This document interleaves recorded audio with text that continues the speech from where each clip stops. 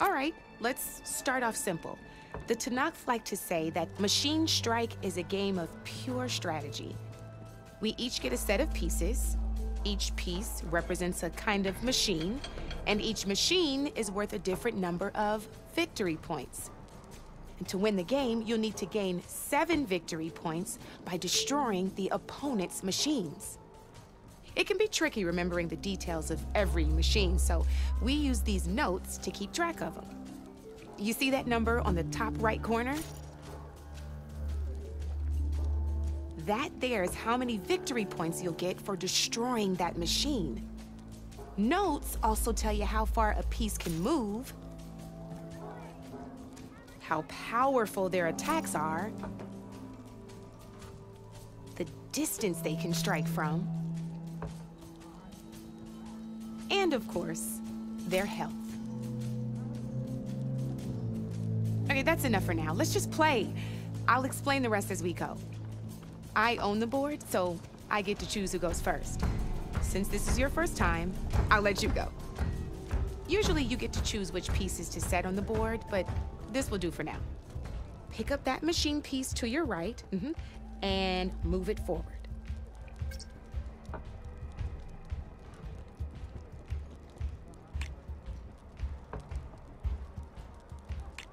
And remember, each machine can only move a certain distance.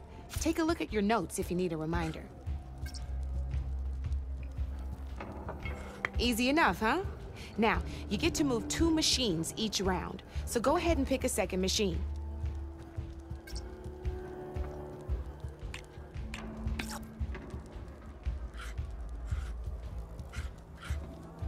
Perfect. There's not much else to do for now, so just end your turn. We're forging onwards. Let me move my pieces here. And we're back to you. This time, why don't you try attacking one of my pieces?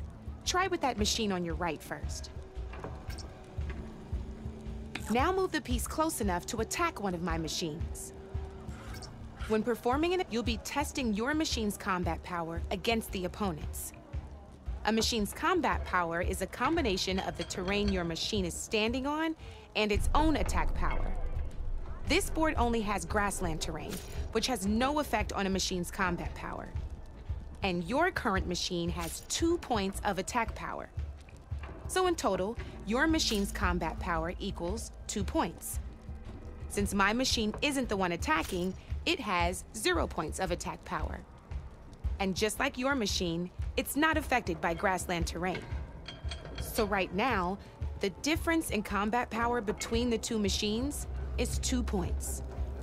This means your machine can do two points of damage to my machine. Did you get all that?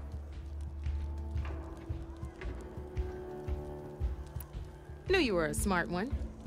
Finish up by attacking my machine.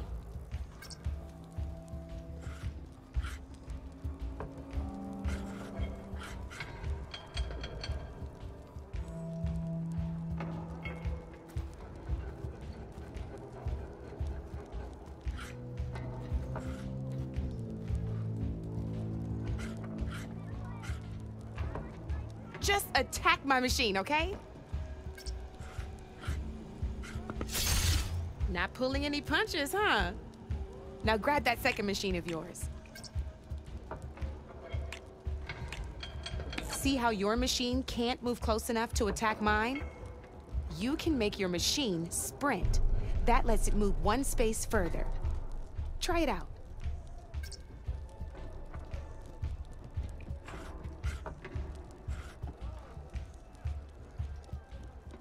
Downside to sprinting is that your machine can no longer attack. Now, some players like to take a risk and overcharge their machine in cases like this. Overcharging lets you attack after a sprint, but it will damage your machine's health by two points. So use at your own discretion. Let's try doing that now so you can see what I mean.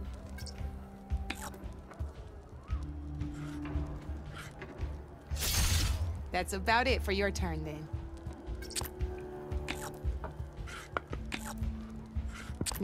I'll let you in on a neat trick. That machine of yours, the one closest to me, grab a hold of it.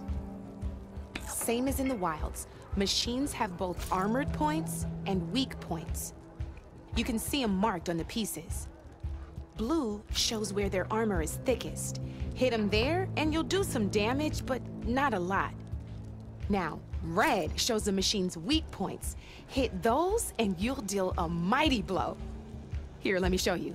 Rotate that piece so your machine faces mine.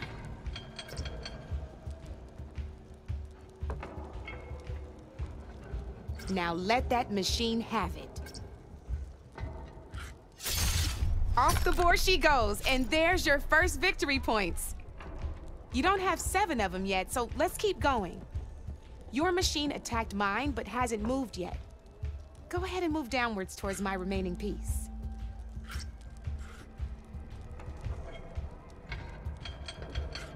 You've already attacked a machine and moved your piece. But, and by the look of your machine's health, you'd be sacrificing your piece to defeat mine. But sometimes, that can be a good thing. Overcharge your machine to attack mine a second time, and I'll show you what I mean. Ain't that a thrill? Now, because your machine was knocked out at the same time as mine, we both get the victory points our machines are worth. Good news is, since you're the one attacking, you're gonna receive your victory points before I do. Which means you can reach the coveted seven victory points first. That's why sometimes losing a piece can be the best way to end a game in your favor. Now, you'll notice you didn't get quite up to seven victory points this time, but you did destroy all my pieces. That means you're the winner! Ah, I knew I'd make a strike player out of you yet. How about this time I tell you how to use a board's terrain to your advantage? This one's got all the different terrains you can encounter in a game of Strike. Knowing when and how to use them can mean the difference between victory and defeat. Terrain mainly affects your machine's combat power. As you know, when fighting an opponent's machine, you compare its combat power to yours. The higher your machine's combat power, the more damage you can do. So finding the right terrain is an essential strategy for overpowering your opponent. Here, I'll show you. Grab that piece to your left and move to attack my machines. Now let's take a look at your machine's combat power. Combat power is the sum of a machine's attack power and the value of the terrain it's standing on. Since your machine is attacking, it's using its two points of attack power. It's also standing on forest terrain with a value of one point. Add those together, and your machine has three points of combat power. My machine is standing on grassland terrain with a value of zero points. It's also not attacking, which means their attack points aren't in play. So my combat power is zero. This means your machine can do three points of damage. Go ahead and test it out. There you go. Now, choosing the right terrain doesn't just improve your offense. It can also help defend your machines from attack. Grab your other piece and place it in front of my second machine. Since your machine is attacking, it's using its two points of attack power. It's standing on grassland terrain. This terrain has a value of zero. This means your machine's combat power adds up to two points. My machine can't use their attack power since they're defending their position. But they have the higher ground. They're standing on forest terrain, which is worth one point. This means my combat power adds up to one point.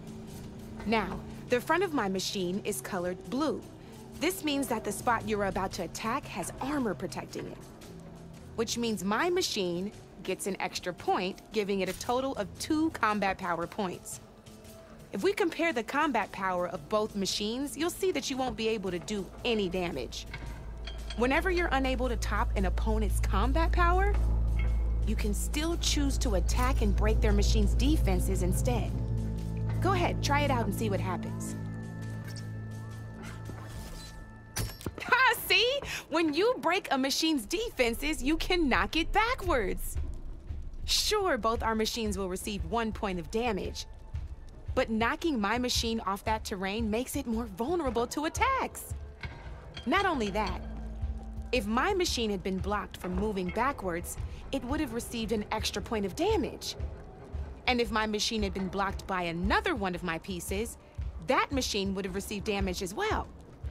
That's why breaking a machine's defenses is a great way to deal damage to several pieces at once. Useful, right? Okay, now go ahead and end your turn. There's still one more thing I want to show you.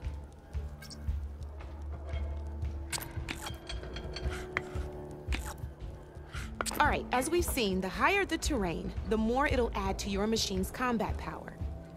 However, there are two other terrains that work a little differently. This is what we call a chasm. Only flying machines can be placed on those. But it'll take away two combat points if you do, so be wary. This is marsh terrain. Landing on it will take away one combat power point from most machines. It'll also keep your machine from moving for the rest of the turn. Here, let me show you. Grab that machine on your left.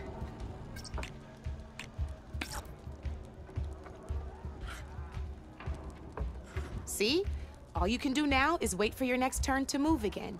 Or you can overcharge your machine to get out of there. You can still attack any nearby enemies so you're not completely helpless. Well, I think that's enough yammering from me for now. Promise it'll all come in handy next time you play. Here for more tips? Why don't I tell you a bit more about the pieces we used to play? In a normal game, you get to choose which machines you place on the board. Each one is worth a certain number of setup points, and you can spend up to 10 assembling your army.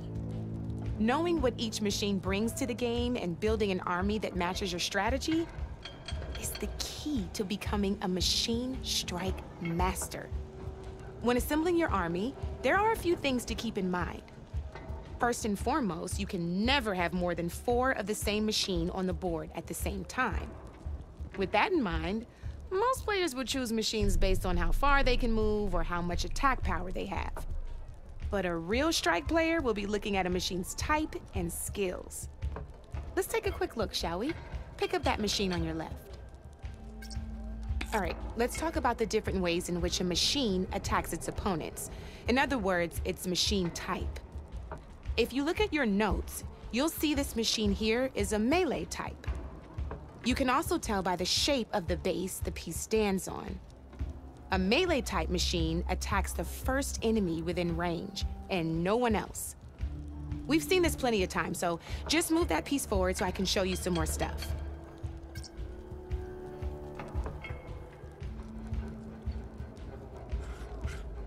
Great, now grab your other machine. Looks like we've got ourselves a gunner-type machine here. This means they'll only hit the farthest enemy in their attack range. Let's move that machine forward and end your turn so we can take a look at the rest. Let's go with this piece first. This is a ram-type machine. Attack an enemy with it, and it'll push the piece backwards. Like this. See, now my machine has taken over your machine's spot on the board. This is a great way to take the advantage away from your opponent if they have the higher ground. Looks like we have one more piece to look at. Now this is a beauty of a piece, a dash-type machine.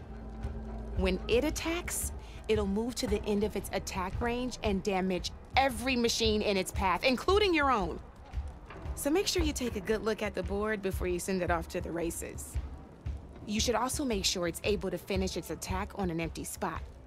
Otherwise, you won't be able to attack at all. Here, I'll show you.